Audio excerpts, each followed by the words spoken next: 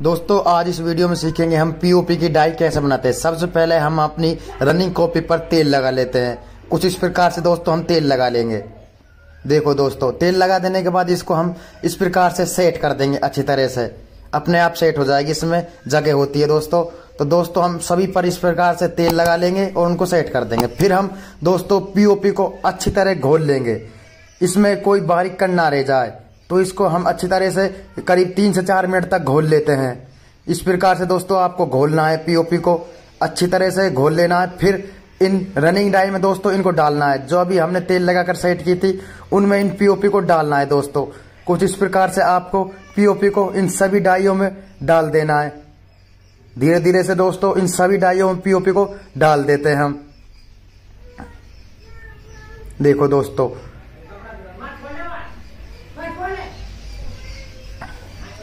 अब दोस्तों पीओपी को डाल देने के बाद एक ब्रश की सहायता से इनमें अंदर सही तरह से चला देंगे, ताकि कोई जगह अंदर ना रह जाए।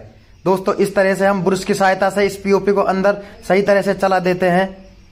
इससे दोस्तों, इसकी फिनिशिंग अच्छी आती है, इसके अंदर कोई जगह नहीं रहती। तो दोस्तों, अब पीओपी सूख गई है तो इसकी ऊपर से अच्छी तरह से कटिंग कर लेते हैं, एक ब्लेड की सहायता से। तो कटिंग कर देने के बाद दोस्तों, हम इसको पीओपी को इस प्रकार से निकालते हैं, डाई में के। देखो दोस्तों अब देखो दोस्तों, कितनी अच्छी साइनिंग आई है।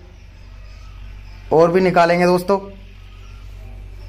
पहले मतलब निकालने के तुरंत बाद दोस्तों इस पर तेल लगाना होता है, ताकि दोस्तों ये रनिंग